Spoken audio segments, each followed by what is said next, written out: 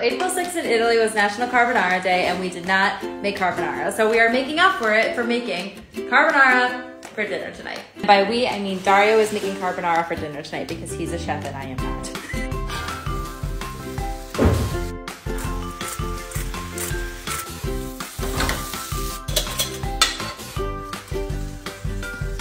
I didn't like the sound that one made. How much cheese did you put? A bit.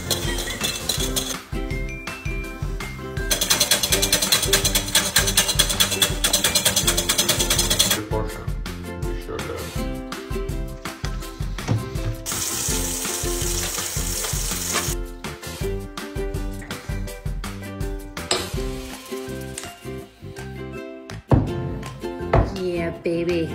Happy National Carbonara Day. Good God. Mmm.